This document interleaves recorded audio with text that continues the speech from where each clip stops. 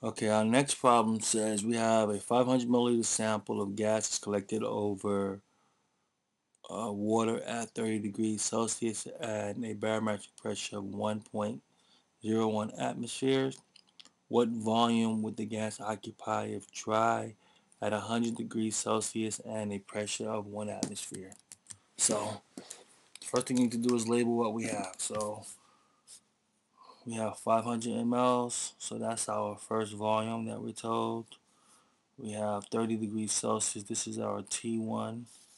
And we have one atmosphere, which is the first pressure that we're told. What volume, so this is a V2, which is in question, occupies uh, gas if dry at 100 degrees Celsius. So this here is our T2 and the pressure which is our P2 so immediately this allows me to think of the combined gas law.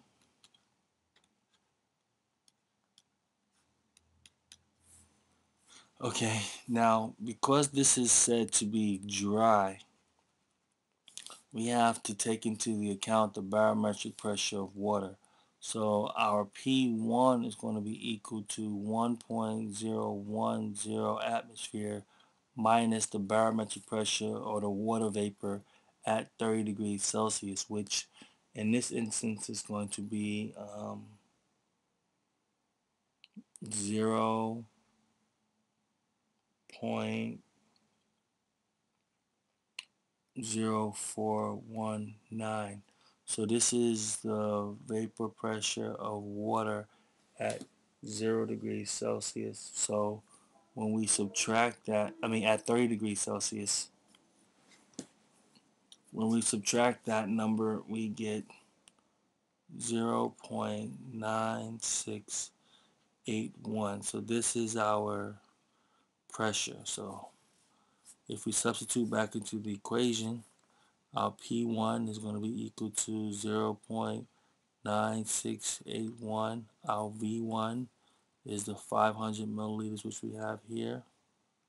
So this here time 500. Our T1 is going to be equal to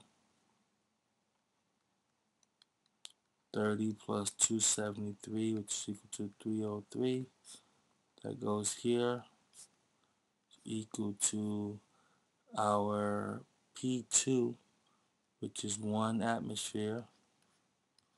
Our V2 is our unknown divided by our T2 which is going to be 100 degrees Celsius plus 273 which is going to give us 373 Kelvin.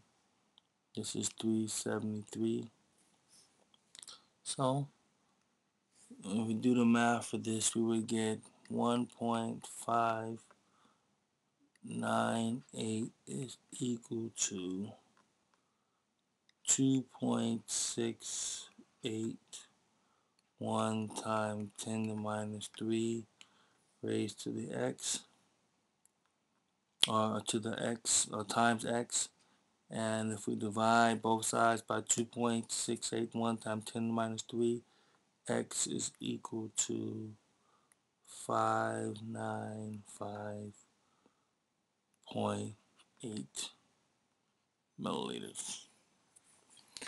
All right.